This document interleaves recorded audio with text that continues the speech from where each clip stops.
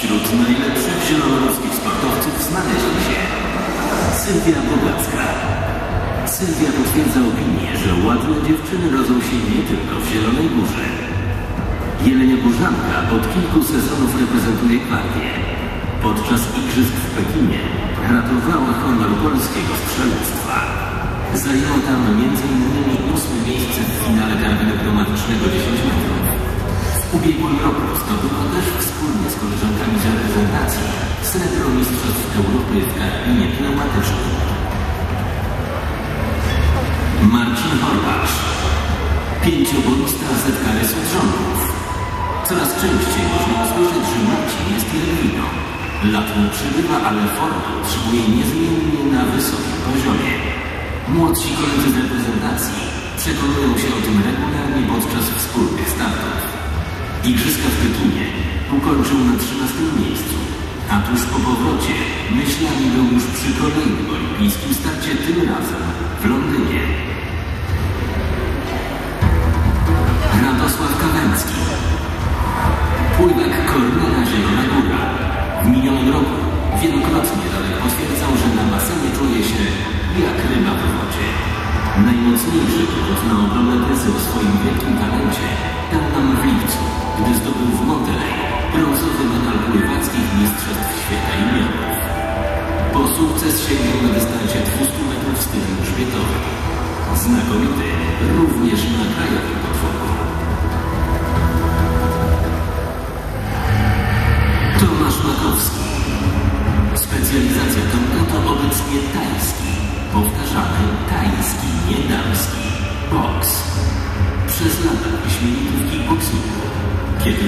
Że czas na nowe wyzwania, zainteresował się innym sportem walki. Efekt jest znakomity. W minionym roku został mistrzem świata w Muay Thai. Po tytuł sięgnął w Burgas, gdzie w finałowej walce pokonał Iryjczyka Ahmeda Pahlevi. Grzegorz Walasek, kapitan ZKŻ-u, w 2008 roku zajął się kolekcjonerstwem i zrobił to ze znakomitym rezultatem. Do prywatnej kolekcji Grzegorza trafiły srebro drużynowego Pucharu Świata, brązowy medal Speedway Ekstraligi, tytuł drugiego indywidualnego wicemistrza Polski i brąz Mistrzostw Polski Par Klubowych. Na deser dołożył awans do cyklu Grand.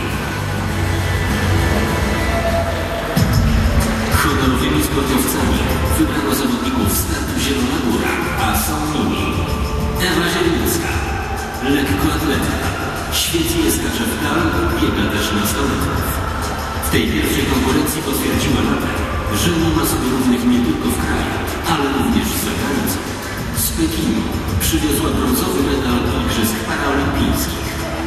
Największe atuty Ewy to siła charakteru i niesłabnąca nigdy motywacja do uprawiania sportu, dla którego potrafi poświęcić nawet karierę zawodową.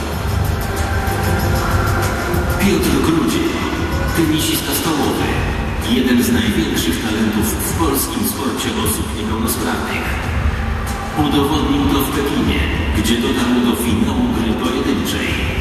Mimo, że uległ w nim zawodnikowi gospodarze, jego występ uznano za jedną z największych niespodzianek letnich Igrzysk Paraolimpijskich w naszej reprezentacji.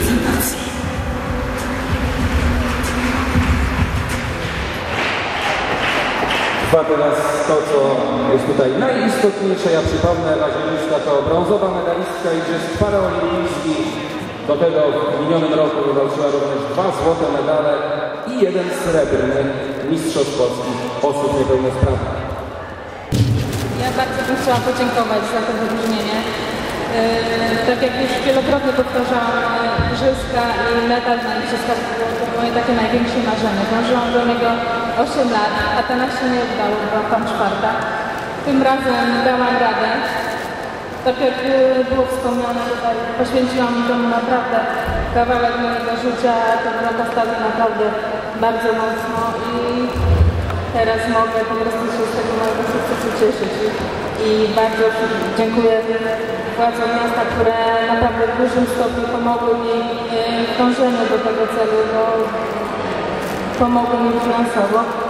I, to również dzięki miastu ten sukces udało się zdobyć i, i myślę, że to była taka największa, też z mojej strony nagroda dla miasta i, i myślę godnie reprezentowałam Zielone Góry e, świecie Pekinie.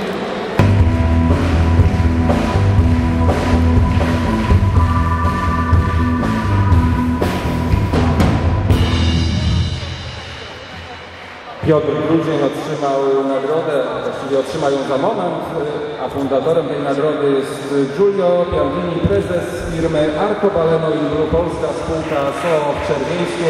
Również wielkie brawa dla fundatora.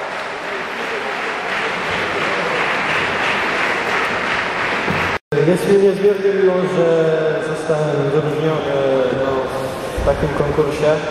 E, przede wszystkim chciałbym podziękować tutaj e, pani Danusi Tarnawskiej, która jest tutaj z nami, która mnie wspiera e, w trudnych chwilach.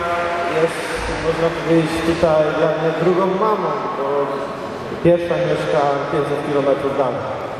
E, bardzo chciałbym też również podziękować klub, e, ZKS, klubu ZKS Dżonków e, za to, że ta współpraca pomiędzy startem układa się tak pomyślnie i e, za to, że ten klub mnie wspiera e, oczywiście w codziennych treningach. E, dziękuję jeszcze raz bardzo serdecznie.